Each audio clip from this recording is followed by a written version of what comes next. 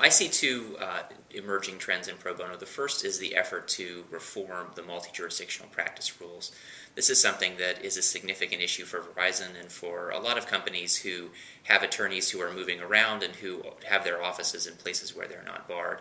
Um, up to three quarters of Verizon's attorneys uh, in our largest offices are operating under licenses, uh, in-house counsel licenses, and are not fully barred in the state. And that's uh, really impinged on our ability to create a full plate of opportunities for people to work on. So we're very interested in working with other companies to try to reform those rules and lift the restrictions on uh, in-house counsel doing pro bono work.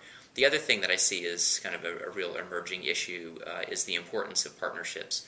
Um, we uh, have really created our program around a partnership with our law firm, DLA Piper, and are constantly looking for other uh, partners to work with where we can create uh, a project that individually each of us would not be able to do together. And so, one of the things I'm really interested in talking with people about here is the different types of partnerships they have set up and how they have gone about putting them together and what kind of results can be achieved.